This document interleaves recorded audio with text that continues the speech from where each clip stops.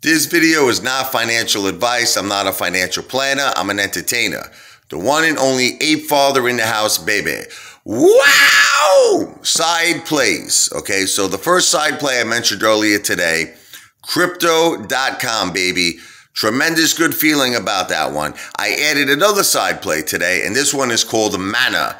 M A N A. So let's talk about it. Decentraland. Okay, that's its name. Um, basically, it's called a metaverse hype.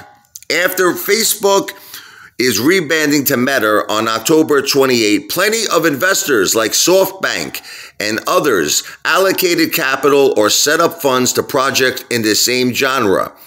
Even after almost a month, these tokens seem to be pumping, baby. I like that word, pumping.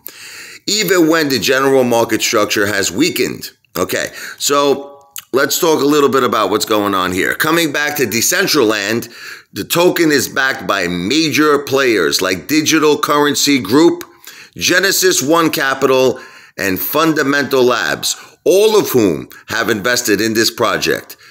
Digital, Digital Currencies Group Grayscale Investment Company holds 18.4 million mana tokens worth 71.6 million. These suggest that these investors are in it for the long haul, pointing to the fact that this sector has much, much more room to grow. As a result, Mana could see a gigantic spike in the future. They're saying that this could be the next Bitcoin. Okay, so, you know, listen, guys, AMC is our home team. Okay, we never, never sell our AMC.